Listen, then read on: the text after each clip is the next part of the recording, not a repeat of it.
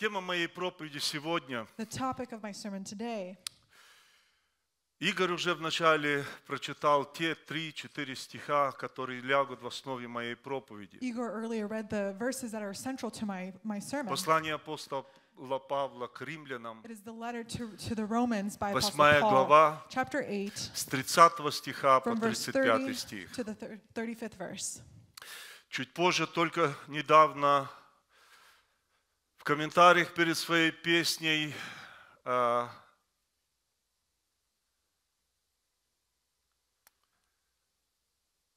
мы услышали, что люди переживают времена, когда не знают, как поступать, не, знаем, не знают, что делать. And a little bit later, we heard commentary about how people don't know what to do, don't know how to act.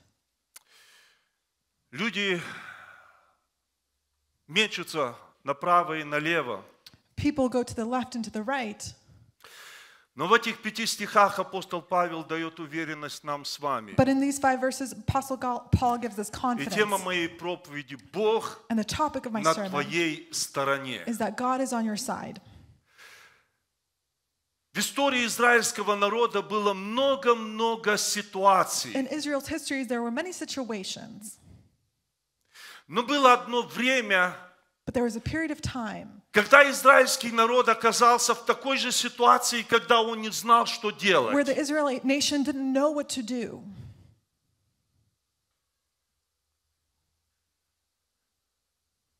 И эта ситуация отличалась тем, что And the situation was different Бог перестал говорить. because God was silent. Молчание Бога длилось на 400 лет. God's silence was 400 Точнее, years. 420 лет. It was about 420 years. Бог молчал. God was silent. Евреи привыкли к тому, чтобы говорить с Богом как с другом. The Israelites, they were used to speaking to God as a friend. Когда мы читаем э, книгу Бытие, мы видим, как люди Божьи, как патриархи, как Авраам, Исаак, Яков, Ной, как они говорят с Богом, общаются с Богом. we read in Genesis how the patriarchs, they were communicating with God. Чуть позже Моисей говорил с Богом. Later, Moses would speak to God. После Моисея пришли, приходили пророки. And after Moses, there were prophets. И пророки имели свой ка- канал общения с And the Богом. prophets had their direct line of communication with God. И пророки передавали желание Бога, волю And the Бога. prophets would bring the desires of God, Но the will вот of God. наступил период в 400 лет, But then 400 year period came, и Бог не говорит ни одно and слово. God doesn't speak a word. Вот когда я думаю об этом, When I think about this, я возвращаюсь в мое детство. I go back to my childhood. Были мы We маленькие, were little. и мы с братьями ходили в лес. We went to the woods with my Отец наш brothers. был пчеловодом, Our father was har- он harvested. вывозил их в лес. He would bring them to the to И the woods, однажды мы пошли гулять по лесу. and we would travel around the wooded areas. И в каком-то, на каком-то этапе я оказался один. And at one point, I was alone. Я кручусь налево, направо. I looked to my left and to my right. Нет никого. Какой-то страх во мне. There was no one around me. I had Какая-то fear inside тревога. of me. I had worry. Я стал плакать. I started to cry. Затем я стал громко кричать. And then I started screaming. Кричу, я здесь, I'm придите, yelling. я потерялся. I'm here. I'm lost. Come get me. А мы слышали различные истории, We he- heard как different терялись stories. люди, дети. How kids would get lost.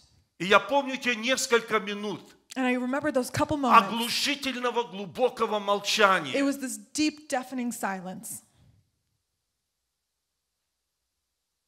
Это была такая злая шутка. It was this cruel joke. Мой старший брат спрятался за большим деревом в нескольких шагах от меня My older brother, he was и hiding наблюдал за моей near me, реакцией. and he would watch my reactions. Но это дало мне урок, But this was a lesson to me что значит одиночество, what loneliness is, что значит оглушительная тишина. what this silence is, this deafening silence. Очень часто в семьях есть, нет, у нас здесь все хорошие семьи, но когда бывают некоторые между супругами, некоторые детали, There's some families who have um, relationship issues. жены замолкают на some день, на два, на три, Wives who give the silent treatment мужья for a не couple звонят, не days, говорят э, Husbands привычное «I love you». who don't call or say I И love you согласитесь, regularly. какая-то тревога, And you can какое-то переживание. that it brings you a worry, Как будто супруг век молчит и не говорит. as if your spouse will Как never будто speak жена again, забыла обо мне, as if your не wife говорит. forgot you and doesn't speak to you. Молчание. The silence. Вот Израиль ощущал что-то подобное. Israel, they experienced something similar. Недавно, недавно я тоже смотрел, как и вы, и вижу, как женщина плачет. Very recently, I saw a woman crying Мой сын на фронте. that my son is Он at the front отправился lines. тогда, тогда. Она перечисляет числа, время. Он She поехал gave the туда, time туда. and the И date три and the дня я не place. имею весточки о нем. And said, I don't have Он any мне news не about звонит, him. он мне He's не not говорит, у calling me. меня He's not беспокойство. talking to Три me. дня. I'm Пожалуйста, concerned. скажите, жив ли It's он been или three не days. жив. Just tell me if he's alive, if he's well.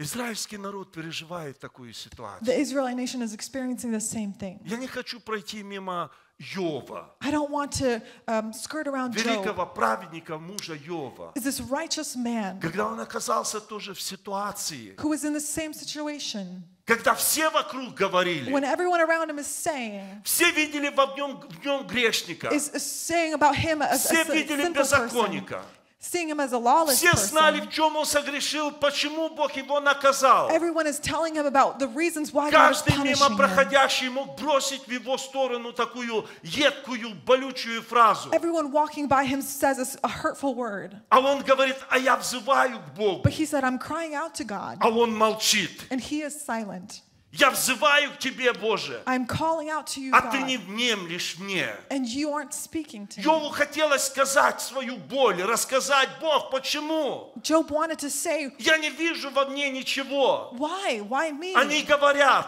They're, they're а ты меня не оправдываешь, ты мне не But you говоришь. are not coming to my defense. You are not speaking to me.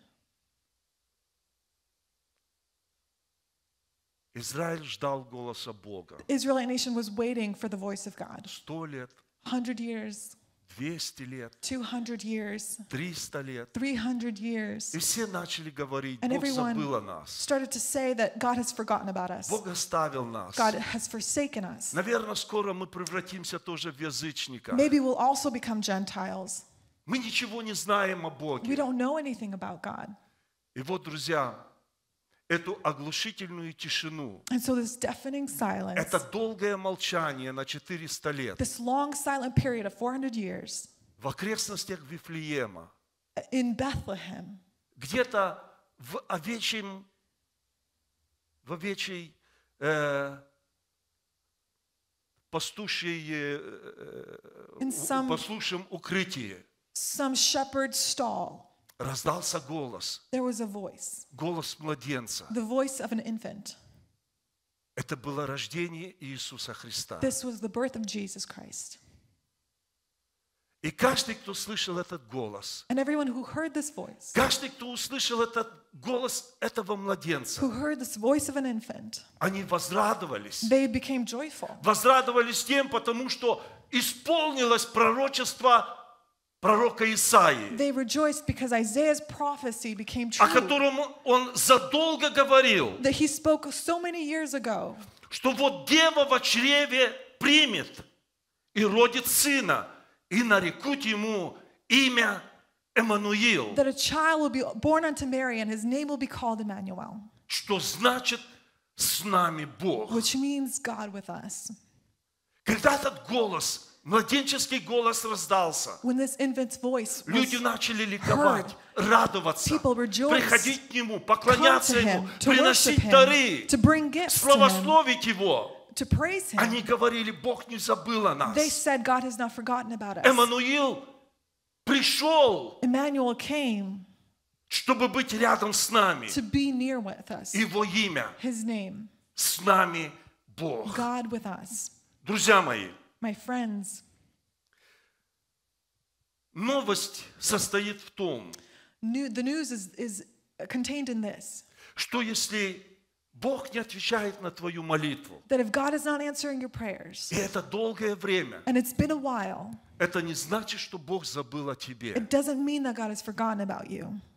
Он просто готовит твое чудо. He's just preparing your Он готовит ответ на твою молитву. He's preparing the answer to your Он готовит чудо для твоей He's жизни. preparing the miracle for your life. Ты просто продолжай ждать Continue to и верить. and to believe. Так как израильский народ, Just like the Israelite nation, имея это обетование пророка Исаии, having this promise from Isaiah, они верили they и ждали, believed and they waited. что однажды отворятся небеса. That one day the heavens will open, Однажды Бог заговорит с нами. that God will speak with us Но на again. этот час, But in на this этот hour, раз, in this Бог time, заговорил по-другому, God spoke не differently, просто голосом. and not just with a voice. Он сказал, я одену человеческую He said, I'm плоть going to put the flesh of a human и on, пойду И поселюсь между людьми and I will dwell among them, и буду жить между людей and will live among them, и буду отвечать на их нужды. and I will answer their needs. И выросший Иисус начал исполнять свою миссию. Having grown up, Jesus fulfilled his mission. Откровение говорит, Revelation says this что Иоанн слышит голос that John, he heard a voice, Иисуса Христа. the voice of Jesus Christ. Отче, я иду исполнить волю Твою. Father, I will go and complete your will. И он, придя на землю, And having come to earth, пошел в Кану Галилейскую he went to uh, Canaan для того, Galilee. чтобы прибавить радости на этом брачном перу, to bring joy to this wedding, превратить воду в вино. to bring, uh, to turn water into Он wine. пришел в дом Петра He came into the house of для Peter того, чтобы исцелить его больную тещу. to heal his mother-in-law. Он пришел в город Наин, город Наин, для того, чтобы остановить эту процессию. Женщина, вдова, хоронит своего единственного сына, He came to another city to find a woman who is burying her сына son. старости. Она идет вслед за гробом. She is walking Но behind на этом uh, перекрестке двух the дорог parade, and there was a crossroads. встречается жизнь, Иисус и смерть. And, and there's a crossroads of Иисус life and говорит, death. женщина, не плачь. And Jesus said, Woman, don't cry. А сыну мертвому говорит, встань. And to the son, she said, Он пришел в Stand. He went to Jericho для того, чтобы встретить Вартимея to meet um, blind и Bartimaeus вернуть ему жизнь. and to bring him life. Он пришел в страну Гадаринскую He went to another place для того, чтобы освободить, для того, чтобы освободить от злых духов того, кто жил в гробах многое время, кто был связан цепями. Он пришел к гробу Лазаря для того, чтобы сказать, «Лада- Лазарь, выйди вон. Он пришел к тому колодцу для того, чтобы встретить разочарованную от жизни well женщину и сказать, woman что есть источник, откуда пьющий well не вожаждет опять. from which those who drink will never be thirsty again. И он пришел для того, чтобы взятую в э, прелюбодеянии женщину, которую привели книжники и фарисеи, And he came so и that a бросили woman ее к ногам Иисуса, who was thrown at his feet by the сказать ей, иди и больше не греши. Go and sin no more. Тот, кто однажды пошел по земле, друзья, This is someone who's walked я верю, я пророчествую, я чувствую, он идет по направлению к вашим жизням, of вашим домам, your к home, нашим your ситуациям. situations. Он скоро постучится в твою нашу дверь Soon he will и, knock on your сказа- door and he и скажет, я Эммануил, and say, I am я с вами, я you здесь для того, чтобы дать I'm here ответ твоей to молитве. answer your prayers. Заканчивая мою эту мысль, хочу э, закончить местом из Писания, Матфея 4 глава, Matthew chapter 24 4, стих. verse 24. И прошел слух о нем по всей Сирии, и приводили к нему всех немощных, одержимых различными болезнями и припадками, и бесноватых, и лунатиков, и расслабленных, и он исцелял их. News about him spread all over Syria, and people brought to him all who were ill with various diseases, those suffering with severe pain, the demon possessed, those having seizures, and paralyzed, and he healed them. Аллилуйя. Если эти многочисленные болезни, описанные в этом стихе, If all of these diseases and sicknesses are written here, были тогда посильны Богу, were overcome by God Он then, тот же самый. He's the same God. Он силен сегодня He's able явить себя в различной сфере, в любой situation ситуации и в любой болезни illness наших, в наших жизнях. Аллилуйя. Прихожу, друзья, к этому месту. Римлянам, 8 глава, I want to read Romans chapter 8, 31, 32, 33 и 34 стих. verses 31 th- through 34. Я еще раз их прочитаю. Что же сказать на это? Если Бог за нас, кто против нас? Тот, который Сына Своего не пощадил, но предал Его за всех нас, как с Ним не дарует нам и всего? Кто будет обвинять избранных Божьих? Бог оправдывает их. Кто осуждает? Христос, Иисус умер, но и воскрес. Он одесную Бога, и Он ходатайствует за нас. И кто отлучит нас от любви Божьей? И здесь множество, множество, множество ситуаций.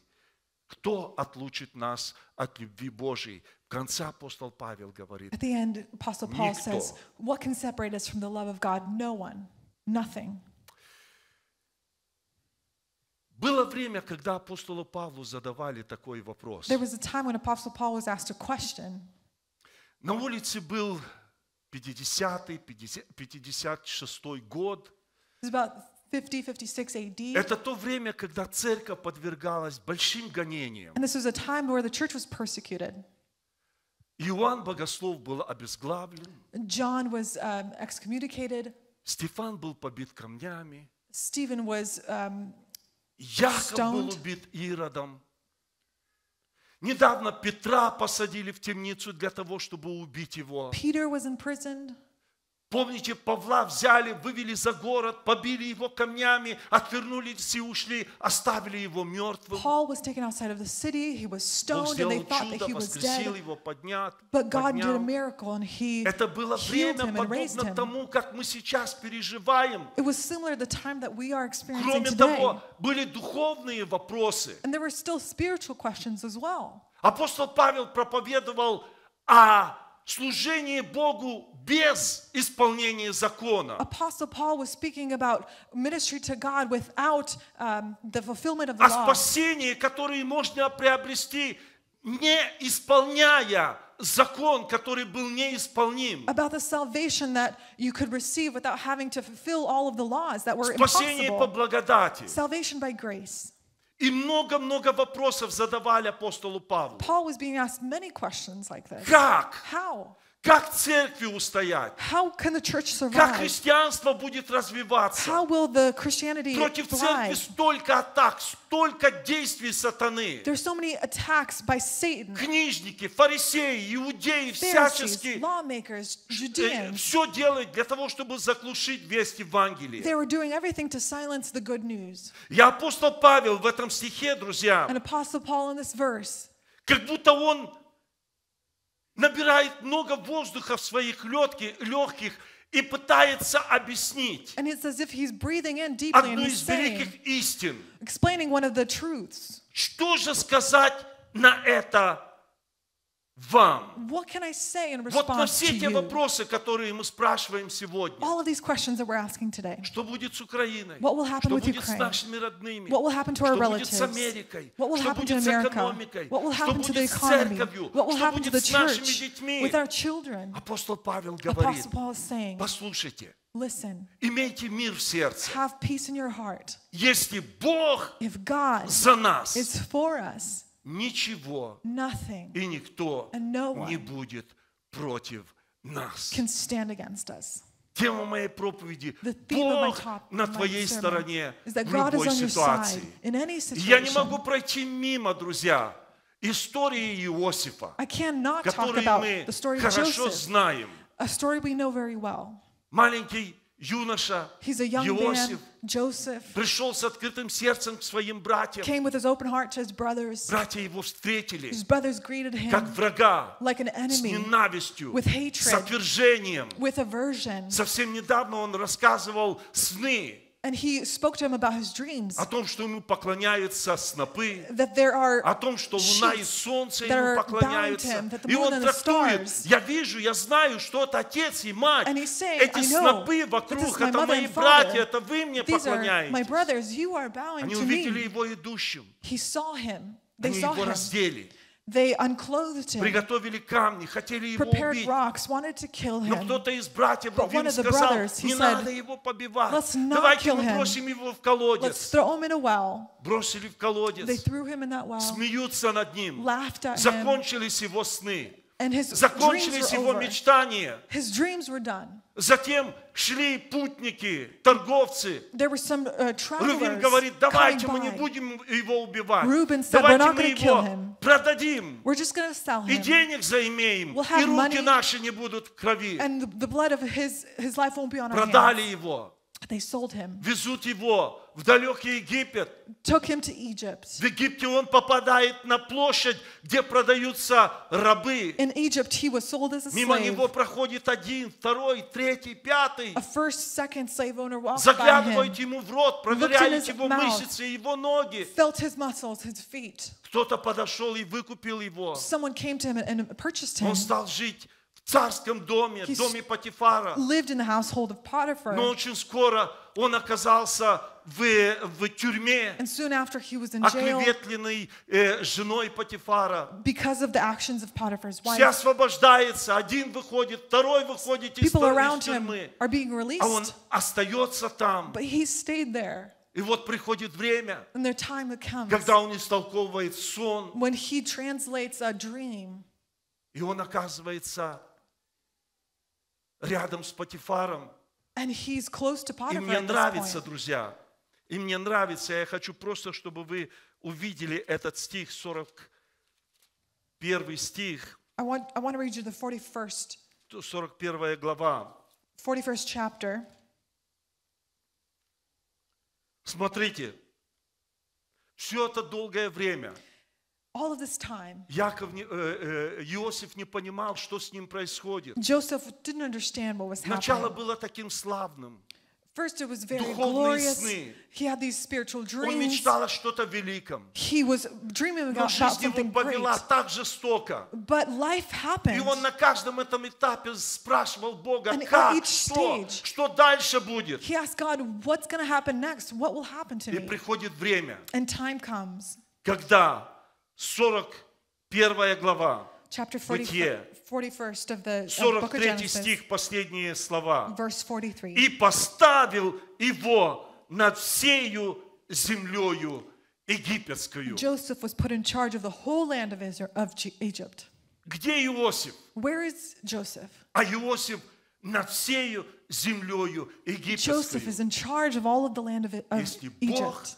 За нас, If God is for us, кто может быть против нас? who can stand against Это us? может взять время, This might take time, но Бог обязательно but God will surely покажет себя в твоей ситуации. show himself in your А где враги э, Иосифа? And where are the enemies of, of А где Joseph? те, которые хотели его убить? Where are those that want to kill Продали him, его, that sold him, макали его одежду в кровь. that dipped his clothes in, Вместе in с отцом blood? плакали, говорили, мы cried нашли with his э, father. одежду нашего брата, звери его разорвали. Lied and said that he was uh, torn Ходили с apart, унылыми лицами. that were walking with sulking А где faces. они? Where are they? Я нашел их в следующей главе, в found them. 41 главе, In the next chapter, в шестом стихе. in verse 6, И поклонились ему лицом до земли, they bowed their faces to the ground in front of him потому что у них мешки пустые, because their bags were Желудки empty, пустые. their stomachs were empty. тревога, голод вокруг. There was Где tragedy. Иосиф? Where is Joseph? Иосиф наверху, над Joseph всей was on землей египетской. He was in charge Где of братья Egypt. его, где Where его are the враги? Where Они are his стоят на enemies? коленях перед They ним are on his и knees. поклоняются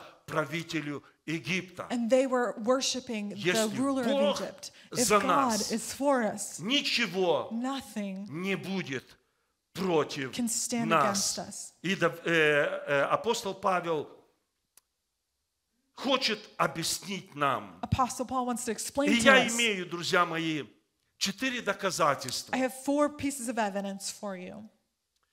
Четыре доказательства, что Бог за нас, и никто не будет против нас. Первое это Бог милостиво дает нам все. It's that God, with His mercy, gives us what we need. Эта мысль взята из 32 стиха. This, this is taken from verse 32. Тот, который Сына Своего не пощадил, но предал Его за всех нас, как с Ним не дарует нам и всего. He who did not spare his own son, but gave him up for us all, how will he not also, along with him, graciously give us all Вы things? замечаете, апостол Павел идет к самому главному, самому, самой высокой мысли, самой высокой You истине. can notice Apostle Paul is going to the highest, mo- most important point. Если Бог не пощадил своего Сына Иисуса If Христа, God didn't spare his own son, Jesus но Christ, отдал Его, but gave him и не просто отдал, но отдал Его him, на смерть, страдать за человека, unto death, то неужели нам Он мелочи не сделает в нашей then жизни? won't God give us the small things as well? Неужели Он не обратит внимание на наши физические, Will духовные страдания, physical, на наши, э, на наши переживания? Our worries. Бог милостиво дает нам God все. graciously gives us everything. Однажды Бог проверял Авраама. One time God was testing Abraham, И это место мне тоже нравится. and I like this passage. После стольких лет жизни, после so many стольких years. э, переживаний в своей жизни, So many worries in his life. Авраам по слову Бога покидает свою Abraham, землю. at the word of God, he left his place. Много-много лет Many years путешествует по пустыням, would travel around the desert, не зная, куда идет. not knowing where he was going. Однажды, в глубокой старости, And in his old age, он заимел мечту своей жизни. he had a Он, dream наконец, родил своего сына, that came to pass. любимого своего His сына, favorite son was born, Исаака. Isaac. И Бог говорит ему, пойди And God says to him, Go там, на гору, on that mountain и принеси его в жертву. and bring him as a sacrifice. Авраам идет Abraham goes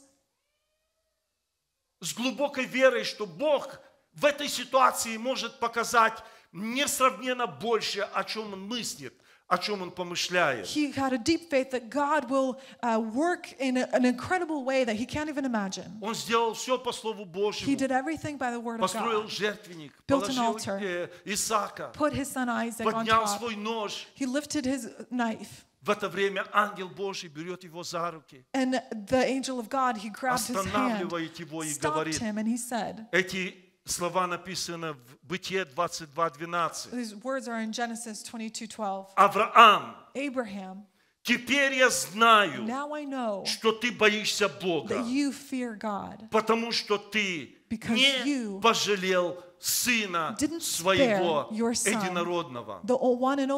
Авраам, теперь Abraham. я знаю. Now I know. Вот как бы апостол Павел, ссылаясь на этом случае, на, на этой истории, говорит, теперь я знаю и вам могу сказать, It's as if Apostle Paul is thinking about this moment and что says, если Бог сына своего не I пощадил, know that if even как God Авраам не пощадил сына своего, didn't spare his son like не Abraham, даст ли он нам все остальное? won't he give us everything else? Уверенность апостола Павла. The confidence of Apostle Я Paul. знаю, He knows. я знаю. I know.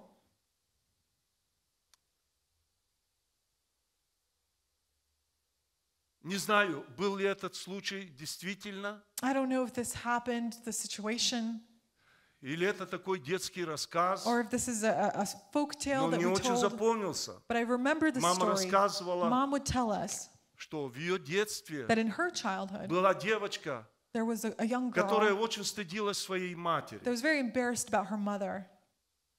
Она очень избегала встречи со своей мамой. She would avoid seeing her mom. Бывало, что мама ее проходит мимо, There was times when she would walk by, она by прячется за своих подруг. and she would uh, hide behind her friends. Причина была в том, что она была одноглазой, без глаза. It was because she only had one working eye. И она стыдила своих сверстниц. And the daughter would be very embarrassed by her, with her peers. Но все всегда удивлялись тому, как эта девочка была красиво ухоженная, But this, красиво одетая. everyone was amazed how this Чистая, young приятная. girl was well taken care of. Она вышла замуж. She wed.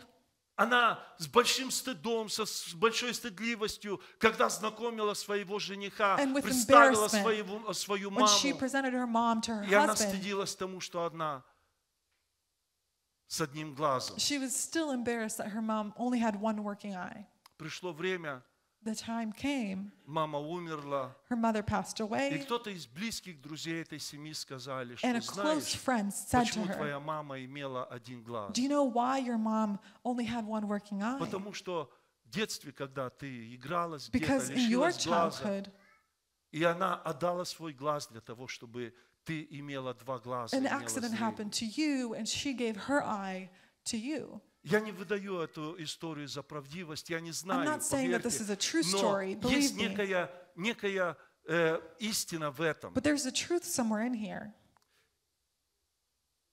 Если кто-то из матерей решается в тяжелой ситуации, когда они находятся между смертью и жизнью, death, родить ребенка, to give birth to a child, жизнь. to give life, неужели эта мать не даст что-то больше, не даст что-то остальное? Вот в этом скрывается э, мысль апостола Павла. That's the, что the если Бог отдал своего Сына Иисуса Христа, то все остальное, как мы говорим, else, это мелочи жизни для it, Бога. these are small things to Просто God. будем иметь терпение, We need to have patience выжидать, когда Бог wait придет и решит их. for God to Притом resolve these продолжать things. молиться, And in верить that, to pray, и to стоять have faith, на Божьих обетованиях. and to stand on God's promises. Второе место. The second passage, Это 33 стих. it's verse 33.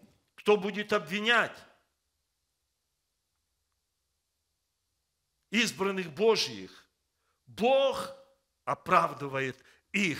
Who will bring any charge against those whom God has chosen? It is God who justifies. И моя следующая мысль. My next Никто не сможет обвинить Is нас. that no one can bring a charge against us Потому что Бог уже сделал это because God has already done this на кресте. on the Он cross. оправдал нас. He justified us. Он сам объявил нас, He's announced что us мы оправданы. that we are justified.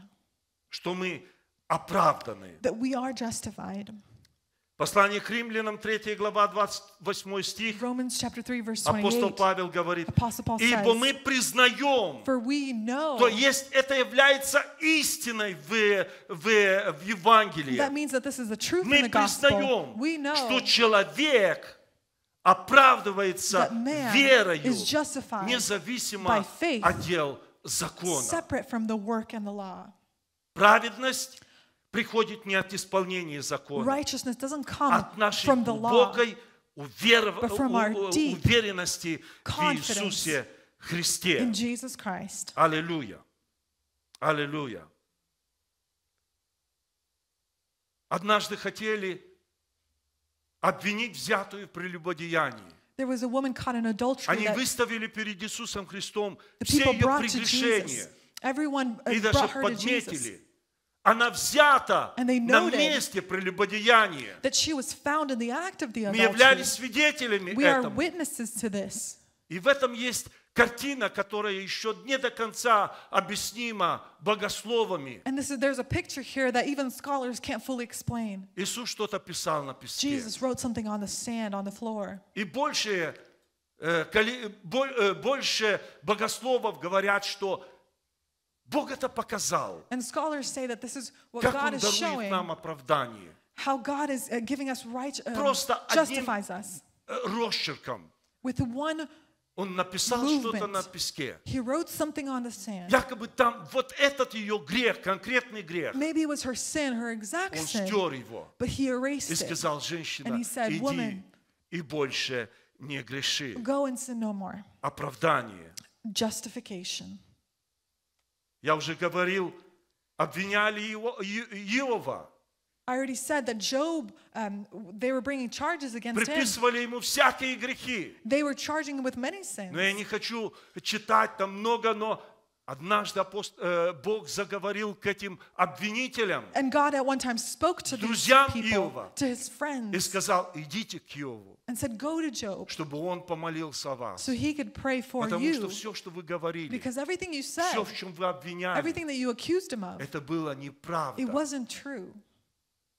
И Йов помолился о них. Job did pray for him for them. И Бог благословил и их, God и blessed them Йова. and Job.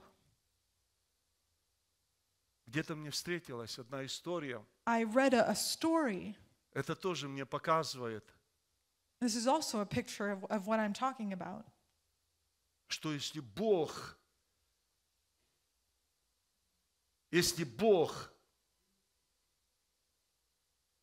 покрывает наш грех, That if God covers our sin, то никто нас не может в этом обвинить. then no one can accuse us of it. Я не знаю, здесь в Америке, но у нас,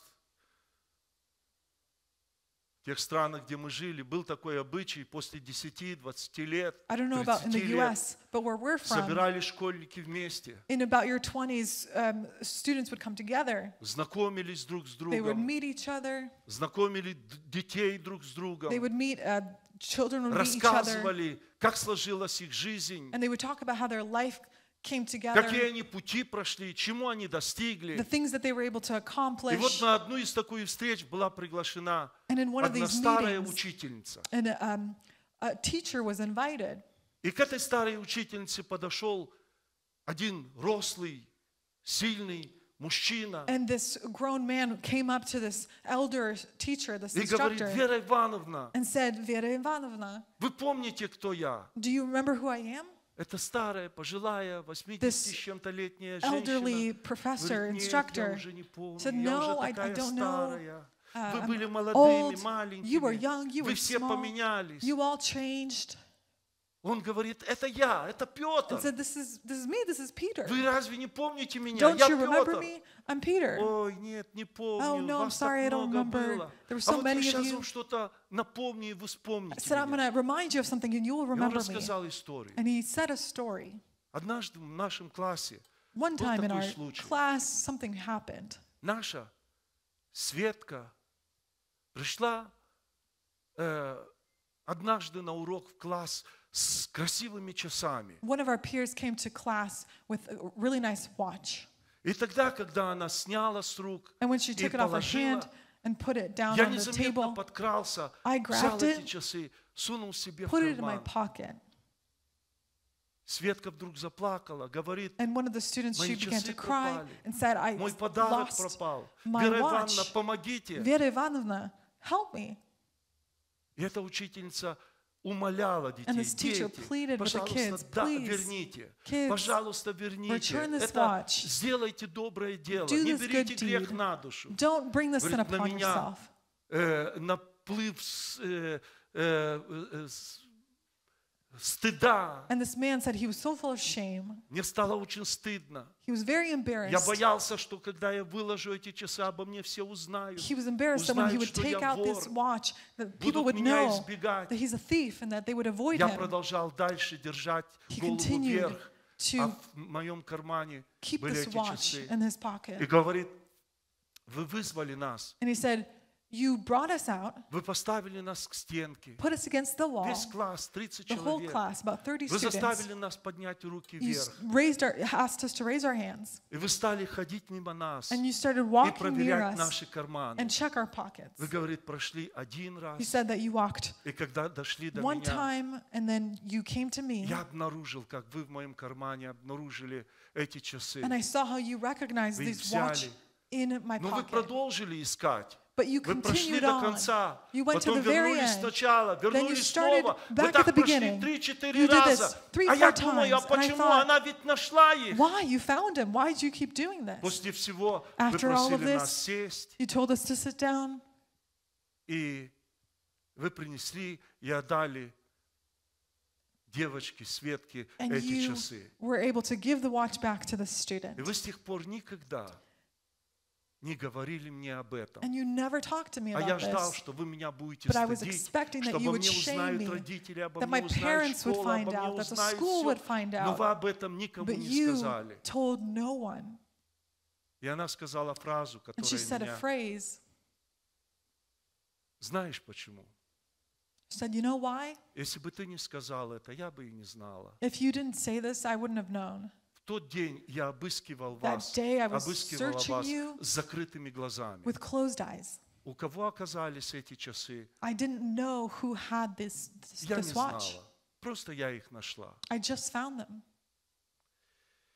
Если эта женщина, друзья, эта учительница смогла укрыть вот этот грех, вот это, вот этот, вот эту кражу, this, this sin, this thie- thievery, и не, дел- не делать это гласным, and not make this known, то тем более апостол Павел говорит, then Paul says all the more что никто не no обвинит one нас, can, can accuse us, избранных Божьих, those who are chosen by потому что God, Бог because оправдал God has нас. justified us.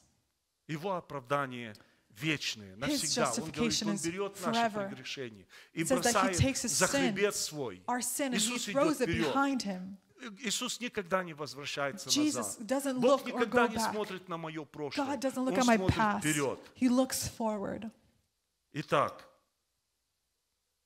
никто не может обвинить нас. So no one can И два charge us. послед- две, две последние мысли. And the two uh, remaining points.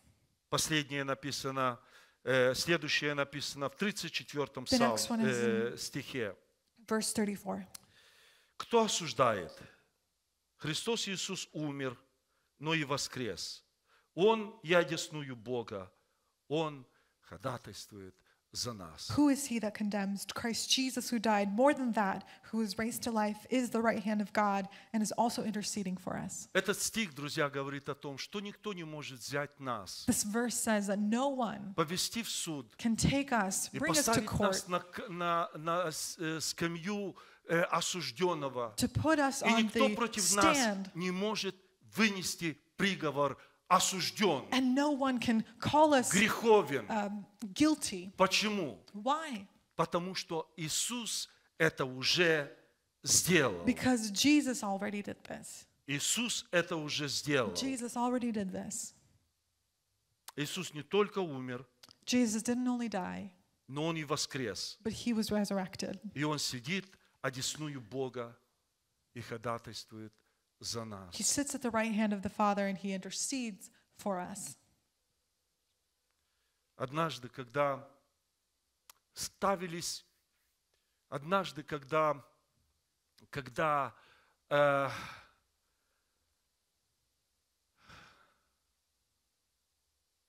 хорошо, никто не может осудить нас. No Почему? one can accuse us. Why? Потому что Иисус умер, Because Jesus died, воскрес, resurrected, вознесся, he занял место э, по правую сторону Бога took the right hand of, и of God, ходатайствует за нас. and he intercedes for Павел us. уверяет, восклицает, Paul is мы в полной безопасности. we are uh, safe. Мы находимся во Христе. because we are in Христа Christ. никто не может обвинить. No one can accuse Jesus, Нас никто не может обвинить. which means no one can accuse us. В Откровении Иоанна Богослова в 12 главе In Revelations chapter 12, описана история, there's a story there. когда архангел Михаил борется с драконом. When the archangel uh, Michael, he was um, battling with the Это demon, была with сильная the война. There was a- сильная борьба, a battle. над которым наблюдало все живое, все живущее на земле. living watched and observed. И эта история в шести стихах заканчивается тем, что архангел six Михаил побеждает, побеждает дракона. It ends with the fact that Michael, he won, he overcame the dragon. И он провозглашает и говорит, And he exclaims and says, радуйтесь небеса, Rejoice, heavens, потому что низвержен клеветник братьев наших, Because he who is acu- the, the accuser, клеветавший на них пред Богом нашим день и ночь. he has been overcome. Друзья мои, против нас работает обвинитель, an accuser who is working который against us, хочет обвинить нас во всех грехах. who wants to accuse us of sin.